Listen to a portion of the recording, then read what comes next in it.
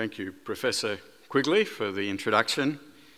And thank you all for coming. I mean, the America's Cup is some distraction. so it's wonderful to see you all here. And I must say, it is really wonderful for me uh, to be here in New Zealand. Actually, tomorrow marks six months since uh, my wife, Professor Sarah Strasser, who's here, she's the Dean of the uh, Te Huataki Waiora School of Health, uh, and, and so she and I had completed our two weeks of hotel isolation, and we set foot in New Zealand two weeks ago tomorrow. I mean, two month, six months ago tomorrow. And that was after six months almost of, of uh, being locked down, working from home in Australia. So it certainly is wonderful to be here. And I really appreciate the opportunity to, to uh, talk with you today uh, about rural medical education and how rural medical education helps improve healthcare for all.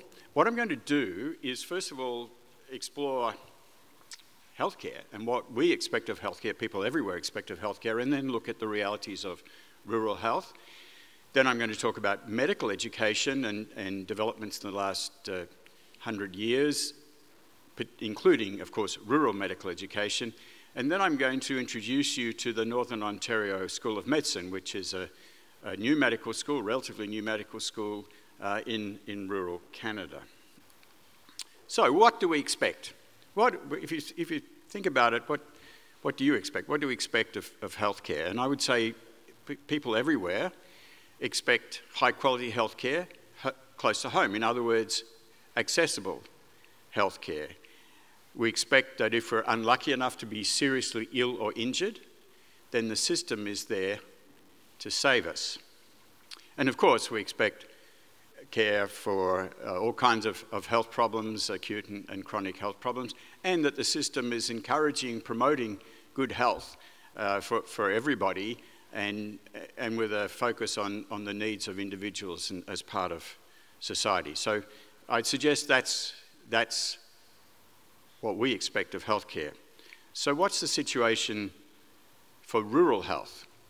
And I would say that it was something of a surprise uh, to us back in 1996. Uh, it was about 300 of us, for, uh, rural practitioners from 30 different countries. We came together in China for the, what became the first World Rural Health Conference.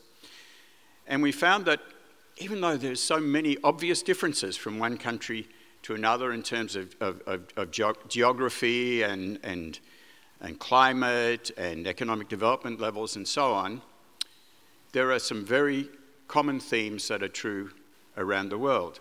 Access is the rural health issue. Even in countries where most of the people live in rural areas, the resources are concentrated in the cities. There are always transport and communication difficulties between one rural area and another, and certainly between the rural areas and, and the urban areas, and there are never enough uh, health workforce. So that was something we discovered when we came together back in 1996. Over the last two decades, there's evidence really accumulated that's shown that people living in rural and remote parts of the world, generally, their health status is worse than people living in the cities. So, what about the healthcare providers, the rural practitioners? When compared to their, their city counterparts, rural practitioners provide a wider range of services, carry a higher level of clinical responsibility in relative professional isolation. And that's true, talking about not just doctors, but all the specialties in medicine, so general practitioners, surgeons, paediatricians. It's also true talking about other health professionals like nurses and pharmacists and, and physiotherapists. And because most rural practitioners, or often rural practitioners, live in the community they serve, they have the opportunity to influence the health of the whole community, not just in terms of individual interactions with, with, with uh, people as patients and, and families, but the whole community level.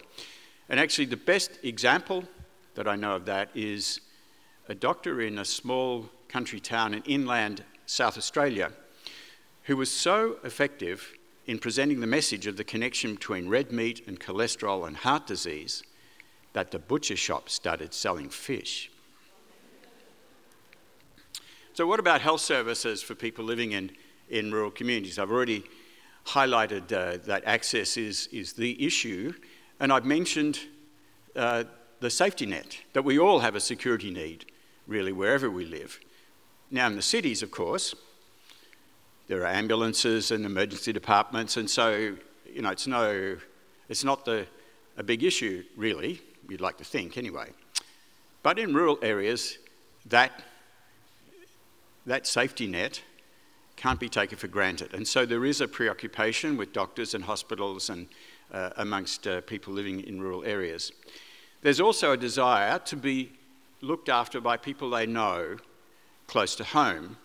And it certainly can't be assumed that people living in remote and rural communities actually will travel. I mean, I, I was in rural practice in Australia for nearly two decades, and twice I had people choose to go blind rather than travel two hours to the nearest eye specialist. I mentioned already the limited resources and, and, uh, and the shortage of, of workforce, but I think the bottom line is that taking models of health service delivery from the cities and somehow trying to sort of modify them and make them fit in the rural areas doesn't work. The health services that work best for rural communities are those, the models that are developed in the community, by the community, for the community. So, how does this relate to New Zealand? Well, uh, last year there was the uh, Simpson report, the Health and Disability System Review report. And what do you know? People living in rural towns have a poorer health status, uh, including lower life expectancy than people living in the cities or the surrounding districts of the cities. And that's even more so for Maori and disabled people. Uh, I think they didn't really look at Pacific, but it's true for Pacific peoples as well. And what about rural practitioners? Well, in New Zealand, they have different roles, often a broader scope of practice. So the description that I've given about rural health and rural practice around the world is also true for New Zealand. So let's move on to medical education. And it was in 1910, a chap called Abraham Flexner, who was an educationalist, present, presented his report, which was a, the result of a review of medical education in North America, so the United States and Canada. And Flexner recommended that all medical education should be university based and there should be the connection made between science and medicine so that the first half of the medical education program should occur at the university and focused on the basic sciences explanatory to medicine, and then the second half of the medical education program in the teaching hospital. So uh, I have to say, of course, uh, in the United States, the teaching hospital was a relatively new phenomenon, and, and Flexner knew about uh, uh, Johns Hopkins University and Medical School and Teaching Hospital, which was actually modelled on the German model of medical education. So they'd been teaching hospitals in Europe for centuries, but it was a new idea in North America. And the reason that Flexner uh, particularly recommended that was that, that the doctors, the physicians in these teaching hospitals use the scientific method, both in terms of their, their clinical care and, and research. And so that's the, the, the Flexner model became the standard model of medical education for the world, partly because Flexner presented his report in New York, then got on a ship and, and, presented his report in London, and then got another ship and went to Berlin. And so uh, this model was ad adopted and spread around the world very, very quickly and still is the standard model of medical education uh, around the world. But if you think about teaching hospitals and, and the developments in the 20th century of science and technology and, and, uh, and medical care and, and, the use of technology and specialties and subspecialties, teaching hospitals have sort of grown and developed and become this, this sort of huge uh, edifice, really, and become the temples through which you must pass to become a physician, a sort of hallowed place, really, in medical education. And it's true, especially in the latter part of the, the 20th century, uh, there were introduced various rotations away from the teaching hospital into other hospitals and sometimes into other settings that were, were called community. But there was this sense that it's kind of a bit like a school excursion. It's a fun thing to do, but it doesn't really count for anything. And meanwhile, uh, the, the principal, uh, the leadership in the, in the teaching hospitals are subspecialists, and they are the principal clinical teachers and role models for the medical students. And so, wouldn't you know it, most medical students, when they graduate, they aspire to become teaching hospital subspecialists. And we can reflect on the implications of that. But in terms of, in terms of medical education, uh, there's another problem. And when you think about it, by the end of the 20th, 20th century, certainly now in the 21st century, you have to be really sick or have a rare disease or require some high technology intervention to make it into a teaching hospital. And therefore, uh, and, and often patients don't stay very long because it's so expensive to keep patients in teaching hospitals. And so the effect of that is that medical students have a very limited exposure. And, and this uh, particular graph really emphasizes that. So um, this is a research that was done actually first in 1961 and then repeated in and published in 2001 in the New England Medical Journal. And so it says, well, 1,000 people, about 750 have symptoms and, and seek medical attention. One, or actually less than one, makes it into a teaching hospital. So that's another way in which the, the clinical experience, the exposure to the range of, of health problems that people experience is very limited, where, where the medical school is really sticking to the, the pure Flexner model. So, what about New Zealand? Well, New Zealand has two universities, or two medical schools associated with two universities, and uh, because of the, the, the concern about the shortage of doctors and, and the need for more doctors to, uh, to serve the populations in New Zealand, there was an increase of 30% in the output of these medical schools over the last 10 years, a 30% increase.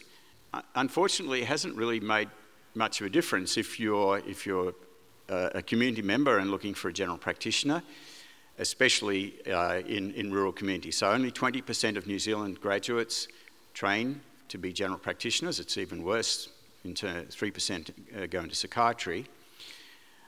And very few New Zealand graduates choose to serve people living in remote, rural, Maori and Pacific communities. And another issue is that Training for general practice and for public health is, is a within New Zealand uh, enterprise. But all of the other training programs for all of the other specialties are overseen by colleges that cover Australia and New Zealand, so Australasian or Australian New Zealand colleges. And so many recent graduates in New Zealand, medical graduates, uh, go to Australia to pursue further training, often more attractive training positions and better pay, and some of them come back, but many of them don't. So we have something like a 20% attrition rate, which does include retirements uh, amongst uh, New Zealand trained doctors.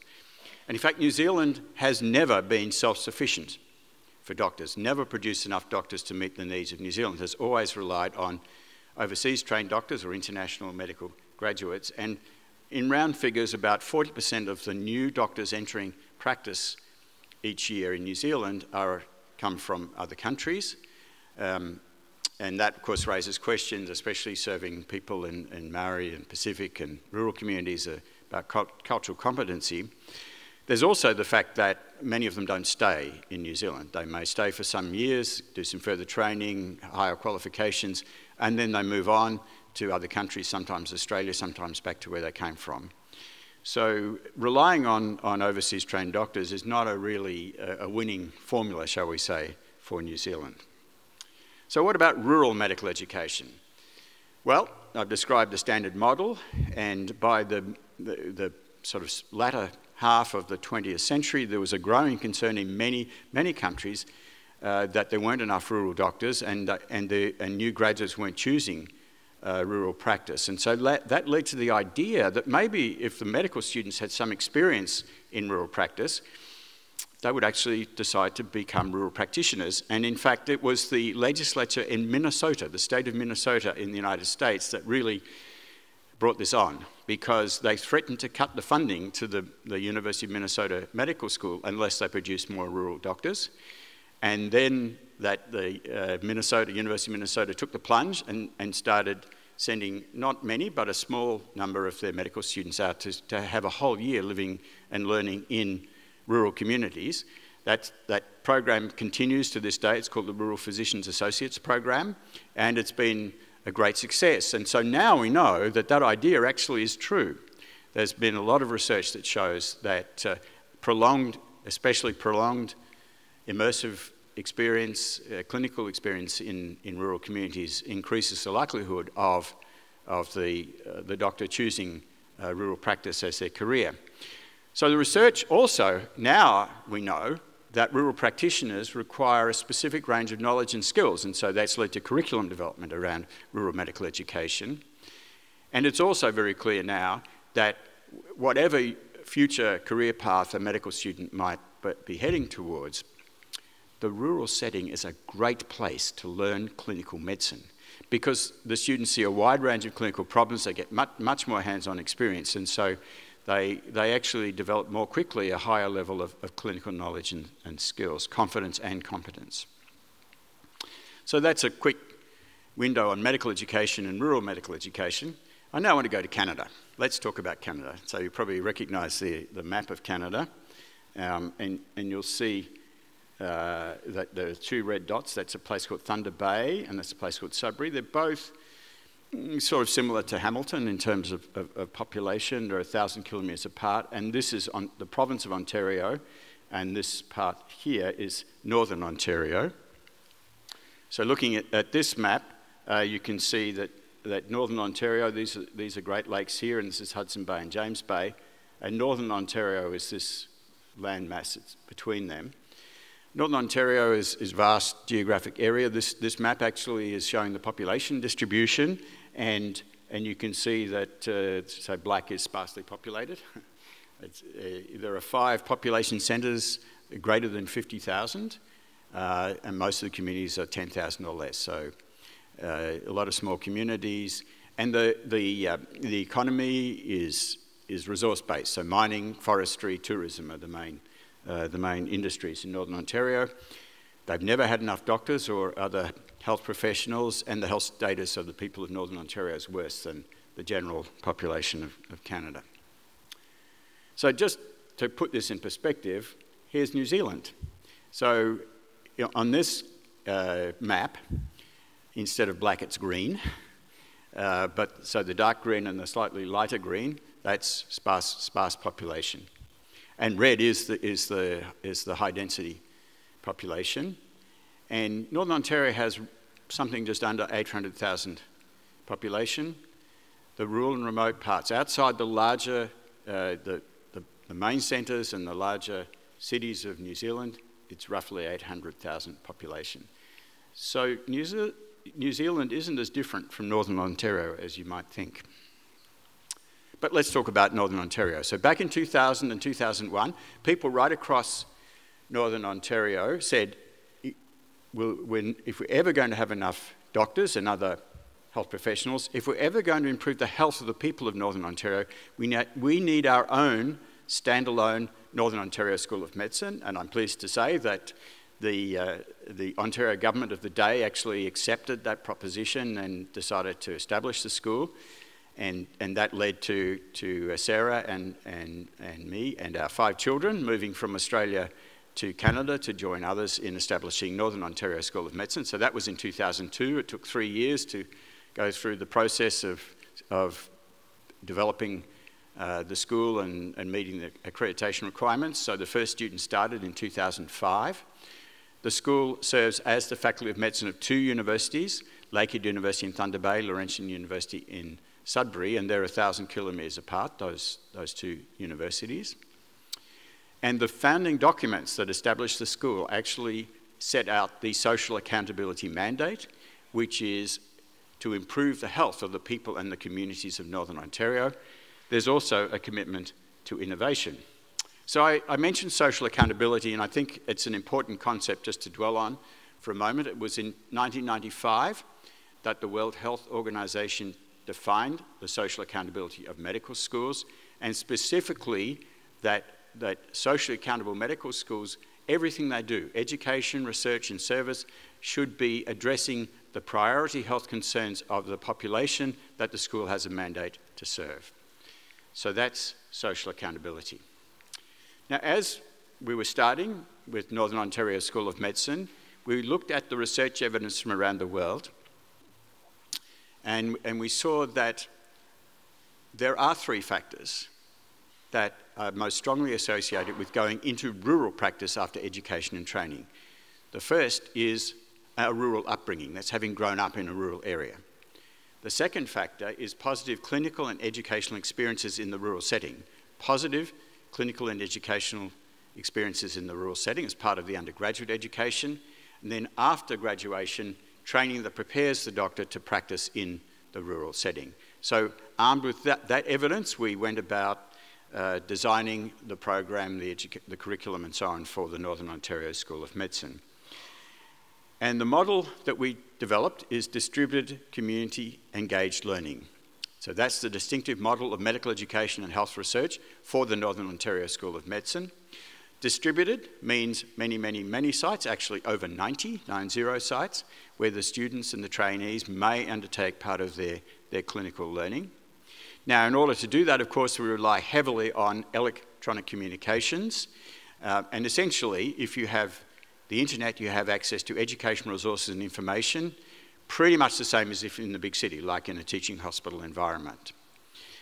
But the centrepiece of distributed community engaged learning is community engagement. That's the interdependent partnerships with the communities of Northern Ontario. So the, the co-creation and, and co-delivery of the curriculum of the education program. So this is a, another map um, showing you, it gives you a visual of the, of the over 90 sites uh, spread around Northern Ontario and some in, beyond, uh, in the southern part of Ontario as well. And the colour coding is uh, different uh, parts of our education program. So, for example, this sort of orangey triangle, which includes these communities here, these are remote fly in, fly out uh, First Nation communities. So, you, you can only get there by airplane, except in the winter when they cut ice roads. So, that's how they bring in heavy equipment and, and, and the like. So, we asked the, uh, the Indigenous people in Northern Ontario, the First Nations and the Metis people, and we asked them, well, what, what are you expecting of your medical school, and we, we had a special uh, gathering, uh, over 100 Indigenous people from across Northern Ontario, and, uh, we, and this was held at a First Nation uh, just in the, in the far northwest of, of uh, Northern Ontario.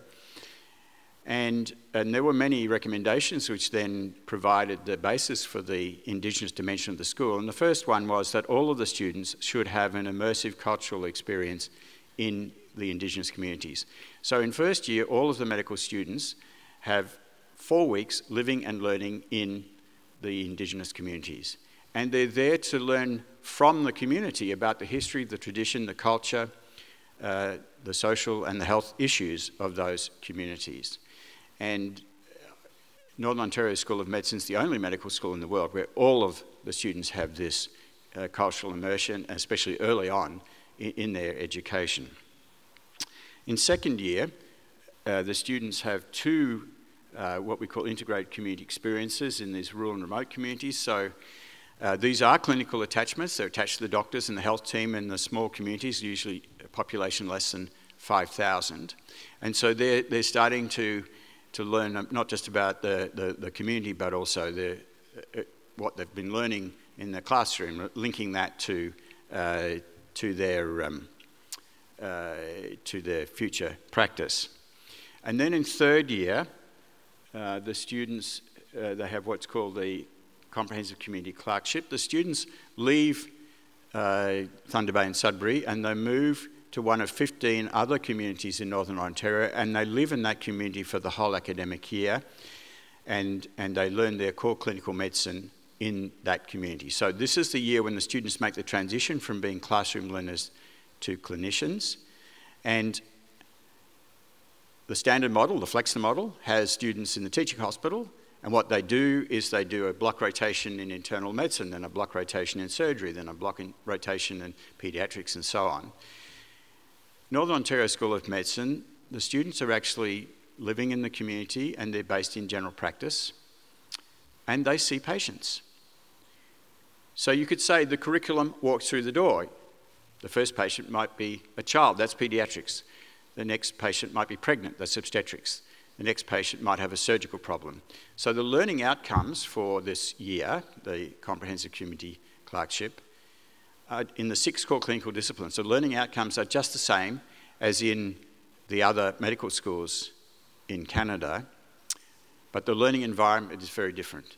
The students are learning their core clinical medicine from the, the community general practice perspective.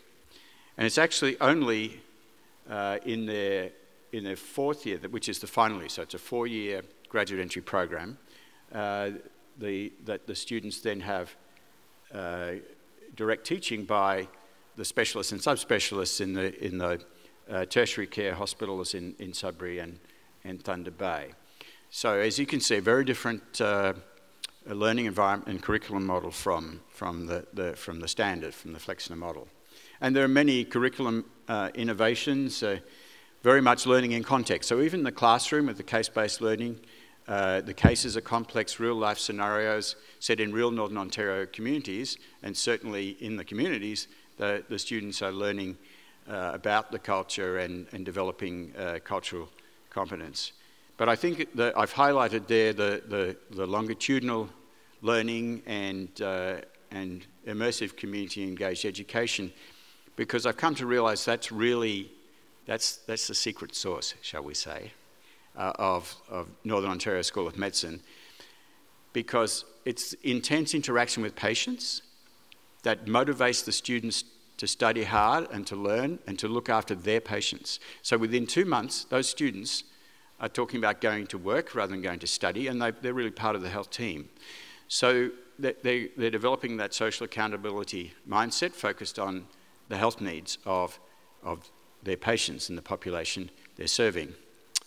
The other secret, part of the secret sauce, is that the principal clinical teachers and role models for these students are rural generalists general practitioners and other uh, general specialists.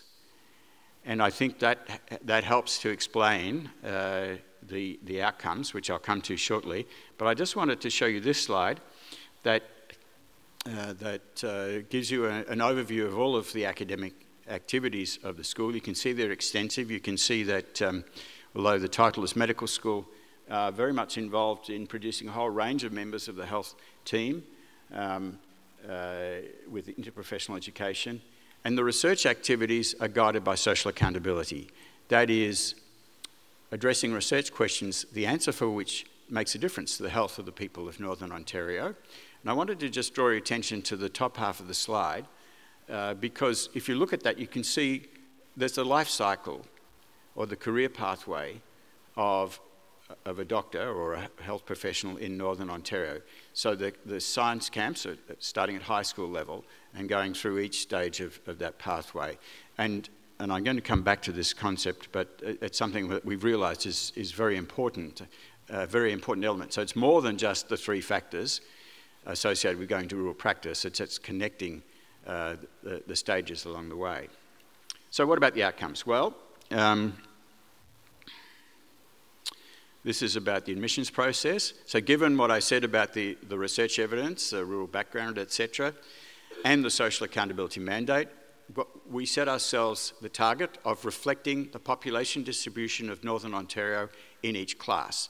So a process that favours applicants from Northern Ontario, and you can see on the one hand it's very competitive, over 2,000 applications each year for 64 places. On the other hand, we've been successful in recruiting students from Northern Ontario. 92% of the students have grown up in Northern Ontario, the other 8% come from remote and rural parts of the rest of Canada. 40% from remote and rural communities is about right for the demographics of Northern Ontario. 7% Indigenous is a bit low. Uh, and so this was, a, this was a review after 10 years, and now we've tweaked the selection admissions process, and it's up to 12%, which does reflect the population distribution. And I wanted to highlight one other aspect of the slide, which is this here. This GPA stands for grade point average. It's a number out of four. And 3.7 is the same as the other medical schools in Canada when students are entering medical school. So we haven't sacrificed academic standards to, to uh, well, in Toronto they would have said to let in all these dumb northerners. So what about the student experience? These are some, uh, some quotes from students uh, from different research that, that, was undertaken. And, and you'll see, uh, you know, for example, this one, we're better off. We actually get to, to learn more being in the rural centre rather than in the big teaching hospital. But I think it's this last one that I've highlighted that really sums it up. You don't know it until you live it. You don't know it until you live it. And if that, like, this is really the opposite of the Flexner model. It's learning in the community and clinical setting where you expect the, the, doc, the future doctor to actually provide care. So, what about the career directions? Well, I said I'd come back to that, and here it is 62% of the graduates have chosen general practice. Uh, that's mostly a rural general practice training that they've chosen. That's almost double the national average for Canada going into general practice for the other medical schools. You may recall that New Zealand is 20% of New Zealand medical graduates go into general practice. In Canada, when that figure got down to 25%, the alarm bells were ringing and the red flags went up, and government started investing more both in training and in making general practice a more attractive uh, career direction for, for doctors. The next, uh, uh, the next line in that slide says 33% general specialties. That's 62 plus 33. That's the 95% that was mentioned in the introduction. So the general specialties are general medicine, general surgery, pediatrics, and so on, including psychiatry. Um, and so 95% of the graduates have chosen to be generalists in, in, uh, across the medical specialties. The other 5% are the, going, to, going into subspecialties. And that 5% is really important to us. So we're talking about dermatologists and radiation oncologists and neurologists. That, that's really important to us because in Northern Ontario, we need those subspecialists. Yeah, they have to go elsewhere for training, but they, but they are coming back. It's also important another way because even though the, the, learning environment and curriculum model is very different in Northern Ontario from the other medical schools, our students or our graduates are really competitive. Like there are a small number of first year training positions in each of these subspecialty training programs each year. And essentially, if our, uh, if our students, our graduates, choose that career pathway, they're successful in matching to those careers. Um, there's a national match, so the, going into, into postgraduate training in Canada, and uh, the first group of graduates from the school, they were all matched in the first round. That was the first time at that time uh, for over 15 years that any, for any medical school in Canada, that the whole class would be matched in the first round. And that pattern has continued, not every year, but most years for Northern Ontario. And for other schools uh, in Canada, there's now a concern that some Canadian medical graduates aren't getting into any postgraduate training. So uh, they're high quality graduates from Northern Ontario School of Medicine that are sought after to train in any specialty and subspecialty. The bottom half of the slide is looking at then after postgraduate training, and you can see that those who, who, who did their undergraduate and their postgraduate training in Northern Ontario, 94% are practicing in Northern Ontario. So, what about the, the impact of the school more generally on on the region, on Northern Ontario. And we've done uh, research a couple of times now looking at the economic impact and also the social impact of the school. And uh, in, in 2017, the budget for the school was $43 million. That's taxpayers' money. The level of new economic activity in Northern Ontario in that year was something over $120 million. So it's more than a two for one multiplier effect or return on investment. And this is, this is positive, not just for the larger population centres, but also this benefit flows through to uh, the smaller communities and its economic development. So there are job categories in Northern Ontario that wouldn't be there without a medical school. In terms of the social impact, well, first of all, uh, much uh, greater success in recruitment and, and uh, retention of doctors and other members of the health workforce. We did a study looking at eight communities that before the school uh, had 30, 30 full-time equivalent vacancies. At the time of the study, they had one vacancy. They'd gone from being in crisis mode, trying to fill gaps uh, next week and next month, to planning ahead, and they were spending less money on recruitment. But I think probably the most important social impact was this sense of, of, of collective community empowerment, summed up by the phrase if we can do a successful medical school, we can do anything. So, NOSM, Northern Ontario School of Medicine, uh, has, has, has actually provided many benefits to Northern Ontario. More generalist doctors and other health uh, professionals who are members of the health team and are responsive to the, the social and cultural diversity of Northern Ontario, as well as the benefits of the research and the uh, academic and the economic uh, development as well. I mentioned generalism a bit, so I just want to focus on this. This is based on research that we did studying students and graduates of Northern Ontario School of Medicine about their experience of generalism in rural practice. And, and this is the conclusion, really, from that study that it's not that somehow uh, you know, it's better to be a specialist and subspecialist or the services they provide are better. It's different. And that, that really rural generalist care, you know, it's, it's high quality care within the realities of the, of the uh, geography, demography, cultural context, human ma and material resources of the rural communities. And the other important finding was that the experiences of the students and graduates actually helped them to, to choose what career direction, uh, what, what specialty and, the, and the, the scope of, and location of their practice. So, lest you think that generalism is just about general practice. This is the definition of generalism coined by the Royal College of Physicians and Surgeons of, of Canada. So that's all of the specialties except general practice. And you can see that uh, they, uh, their, and their definition is common, in common with others, that it's about a wide range of services uh, provided as part of a health team that's focused on addressing the health needs of the population that's being served. So, generalism is an important uh, concept, really, in all of this. And going a step further, and I, I highlighted uh, the, on the top part of the slide of the academic activities with NOSM in Northern Ontario, is what's is actually now we have the research evidence. So more than the three factors that we have the research evidence that shows if you're really going to ensure the supply, recruitment and retention of doctors and health professionals in rural communities, you need to have a facilitated career pathway that starts at high school and actually Indigenous communities probably even in, in, starting in primary school. That's what we do in Northern Ontario.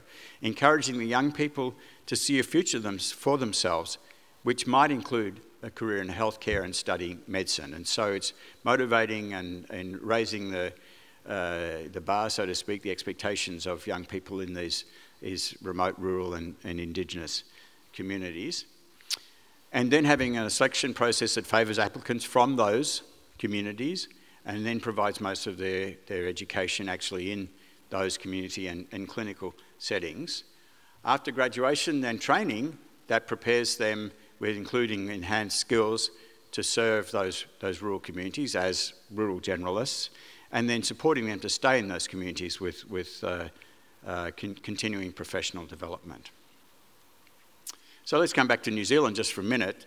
Um, you know, I've, I've, highlighted already that uh, the, the worse health status uh, of people living in rural Maori Pacific communities in, in New Zealand and relatively access, they're underserved in terms of access to care. They're also underrepresented in terms of the uh, medicine and, and, other health professions. And so it seems to me that that provides the, the basis for New Zealand to at least explore uh, the notion of a new and different medical school, different from the, the, the standard model, which is Auckland and, and, and Otago.